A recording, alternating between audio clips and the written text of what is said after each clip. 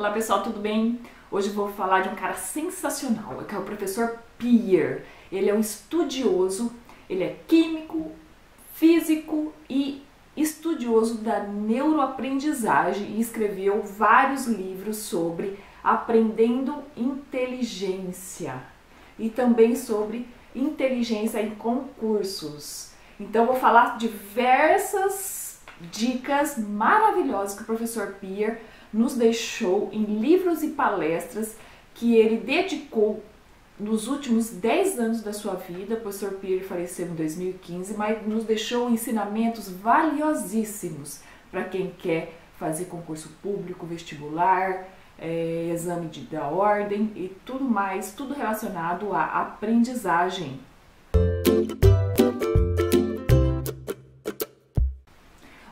Principais ensinamentos que o professor Pierre nos deixou foi sobre a inteligência, que a inteligência ela se aprende. Ninguém nasce e morre burro, se quiser. Então, é, são vários mitos que ele derruba em relação à inteligência. Porque o nosso cérebro, ele é como um músculo. Se você exercita ele, você pode potencializar a sua inteligência através do que? De leitura, de exercício, de estudo. Então esse é um dos mitos que o professor Peer derruba e também ele faz diversas críticas ao sistema educacional brasileiro. Por quê? Porque no Brasil a gente, aluno, aprende a tirar nota na prova. A gente não aprende a estudar para ter um conhecimento permanente daquilo que a gente está estudando. Por que que no Brasil é, você faz a faculdade de Direito por cinco anos, aí você chega no exame da OAB e não passa? Porque você não aprendeu a estudar da forma correta. Você aprendeu a tirar nota para prova e depois aquele conhecimento ele se esvaziou do seu cérebro e você não lembra mais nada. Aí chega na hora do exame da ordem, você não consegue nota. Apenas 20% dos bacharéis em direito no Brasil conseguem passar no exame da ordem. É uma porcentagem baixíssima. Isso se deve ao sistema educacional brasileiro que não ensina como se estuda da forma correta. Então, o professor Pierre, ele coloca vários pontos importantes que hoje, se eu for falar para você, é, qualquer cursinho aí não vai te dar essas informações, porque eles querem vender. Eles querem vender aula, eles querem vender resumo, eles querem vender apostila. Então, o que, que é o ponto-chave para que você se torne de um aluno se passe a estudante. Aluno e estudante não são sinônimos. O que, que ele coloca? Aluno é aquele que vai na aula assistir aula. Você acha que você assistindo uma aula está estudando? Não, não, não, não, não. Você não está estudando. Você está, no máximo, entendendo absorvendo informação que, se você depois não estudar aquela aula que você assistiu, ouviu, você simplesmente vai esquecer. Seu cérebro vai descartar aquela informação no dia seguinte. Então, todas essas dicas eu vou dar aqui para vocês hoje. Essa é a primeira. Aluno é uma coisa, estudante é outra. Como que é se você se torna um estudante?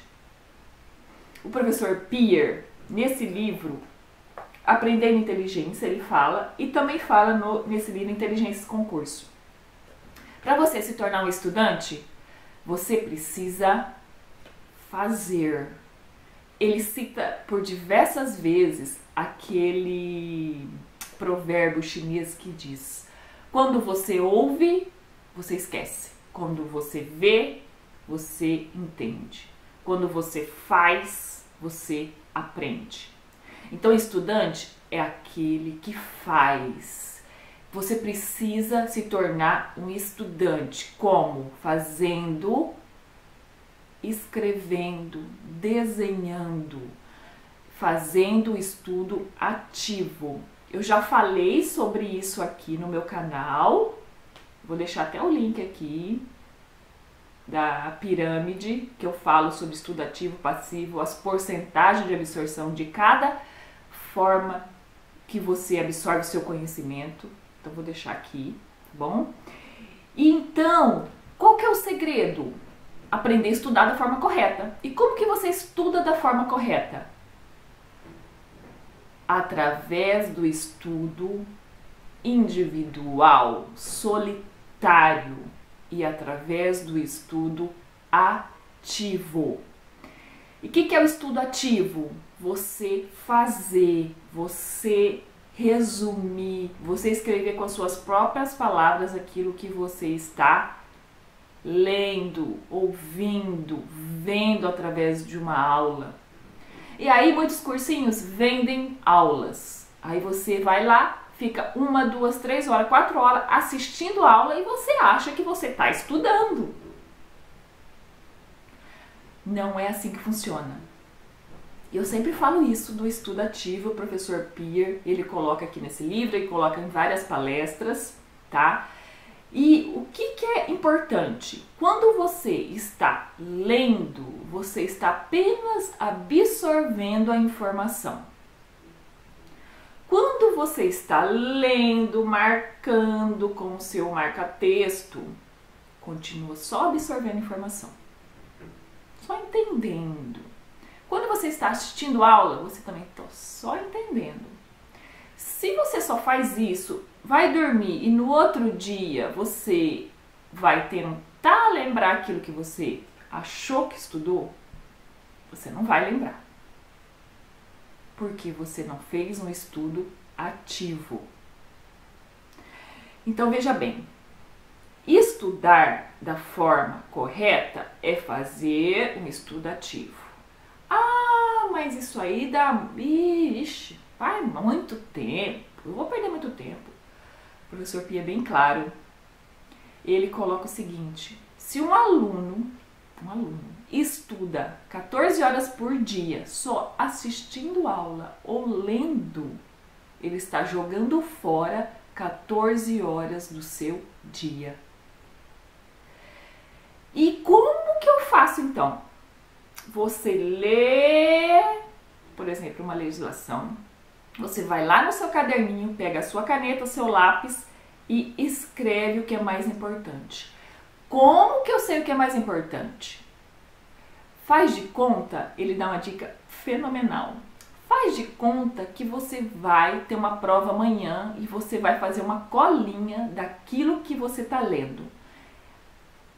Automaticamente, você vai colocar aquilo que é mais importante. Faça de conta que você está fazendo uma colinha. E o professor Pia coloca assim: ah, lembra lá na sua infância, na sua adolescência, quando você fazia aquelas colinhas, deixava tudo prontinho, fazia o mínimo possível lá para esconder na hora da prova, e às vezes chegava na, na hora da prova e você nem tirava a colinha? Por quê? Porque você fez o seu próprio resumo. Você estudou fazendo aquela colinha. Você nem precisou dela na hora da prova. Olha que interessante isso, gente. Então ele coloca aqui muitas dicas maravilhosas e entre essas essa questão do estudo ativo e solitário. O estudo coletivo ele diz que não é estudo. Só estudo para aquele que está ensinando os outros. Aquele que só está ouvindo, ele só está entendendo. Malemar entendendo.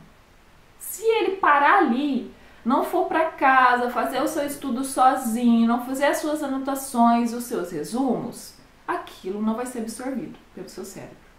E aí ele coloca assim, ó: Estudar é um ato solitário que se realiza escrevendo e desenhando, não lendo ou digitando. Ser estudante é ser autodidata. Então, se você quer ser um estudante, seja autodidata. Tire da cabeça esse mito de que você precisa de um cursinho, de assistir a aulas presenciais para ter chance de passar no concurso. Tire essa limitação da sua cabeça. eu sempre estudei sozinha, mas nunca nem tive conhecimento do professor Pier, desse livro. Eu adquiri ele depois que eu passei nos concursos e sempre estudei sozinha, eu sempre fui autodidata. E como que é importante você ser estudante, ser autodidata, buscar o seu próprio conhecimento, entendimento e estudar. Pare de ficar comprando materiais prontos de resumo. Pare de ficar comprando mapa mental pronto. Pare de ficar comprando resumos prontos. Faça seu próprio material de estudo. Só assim você vai estar tá estudando de forma correta. E olha o que ele fala aqui nesse trecho. Meu caro, é justamente por isso que você não consegue passar no exame ou na sua prova de concurso. Você foi tão deformado intelectualmente por um sistema escolar imbecil que acha que os outros podem fazer por você algo que só você tem condições de fazer. Se você está com sede, não adianta pedir alguém para beber água por você. Então é exatamente isso, gente. Vocês precisam entender, parar de ser preguiçosos, parar de não fazer o seu próprio material de resumo, comprar material pronto. Não sejam limitados. Aprenda a inteligência. A inteligência ela pode ser aprendida. E depende de você fazer isso. A partir do momento que você agora sabe dessa informação, você precisa trabalhar em cima disso. Nem sempre o meio mais fácil é o melhor meio. Então, estude da forma correta. O professor Pier, ele fala qual que é a forma correta de se estudar. Ele se baseia do ritmo circadiano, que é o ciclo de 24 horas para você realmente aprender. Então, o ciclo ele tem três etapas. Vou tentar mostrar para vocês a figurinha aqui. Não sei se estou conseguindo ver.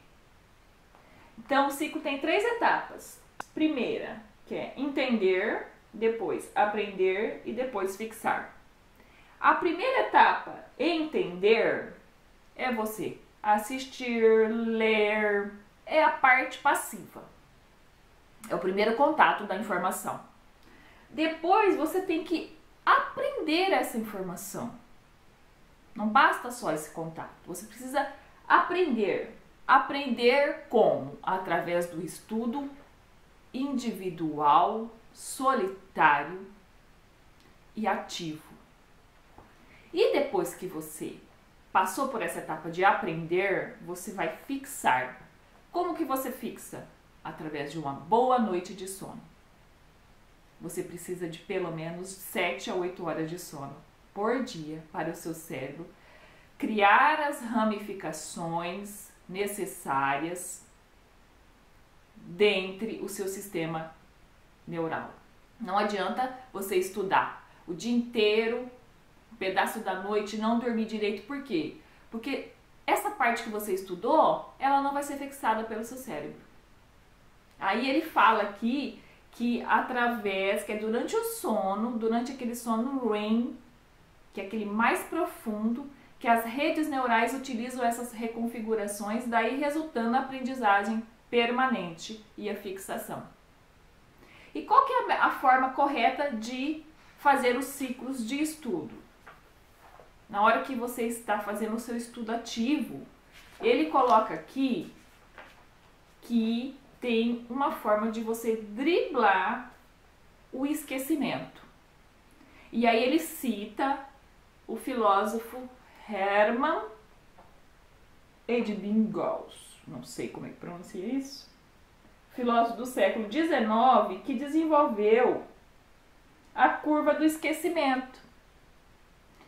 Que aqui, com zero horas de aprendizagem, você tem 100% de retenção. E aí vai diminuindo. Por exemplo, 10 dias, você já tem 60% já só de retenção. Após 60 dias, você só tem 5% de retenção. Então, como é que você trabalhar isso? Você vai fazer as revisões. Aquela refrescada de memória. Você faz uma revisão por volta de 10 dias e depois você refaz de novo, dá aquela refrescada de memória com 25 dias da primeira aprendizagem. Nota-se aqui no, no, no gráfico que cada revisão diminui, diminui a porcentagem de esquecimento. Depois de um certo tempo, você vai manter essa aprendizagem entre 90 e 100% de retenção. Então, essa é outra dica que ele dá. E uma dica também muito importante é você fazer as pausas durante o seu estudo. Você não pode ficar estudando 10 horas por dia sem pausa. Ele coloca aqui que vários neurônios das redes começam a criar novas ramificações. Só que a enzima que cria essas ramificações, ela vai perdendo força a cada 40 minutos. Então, após 40 minutos, seu cérebro não consegue mais fazer essas ramificações neurais para você guardar conhecimento. Para você formar, é como um quebra-cabeça, né? Ele vai ramificando e vai se encaixando as informações. Após 40 minutos, essa essa possibilidade vai diminuindo. Então, ele recomenda o quê? Cada 30 minutos de estudo, 10 minutos de descanso, com qualquer atividade que não seja intelectual. Então, vai tomar uma água, vai dar uma caminhada, vai alongar. E aí ele coloca também o seguinte: faça parte do movimento MST, movimento sem tela. Fique longe de celular, computador, é, qualquer coisa desse sentido. Estude com papel, lápis e caneta. Ele diz que digitar não é escrever. Quando você digita, você está guardando isso na memória do seu computador, não na sua memória. Quando você escreve com lápis, papel, caneta, você está guardando as informações na sua memória, no seu córtex, que é o que você vai levar para a sua prova. Você não vai levar o seu HD, o seu computador para a sua prova. Então são ensinamentos muito importantes que eu estou compartilhando com vocês e quero que vocês levem para a vida de vocês. Tá bom, gente? Então, por hoje é só. Vocês gostaram dessas dicas do professor Pier, das suas técnicas de estudo? Gostou desse vídeo? Já dá o seu likezinho, compartilha com seus amigos. Não é inscrito ainda no canal? Inscreva-se no canal e aí fique por dentro de todas as novidades. Um grande beijo para vocês. Força sempre.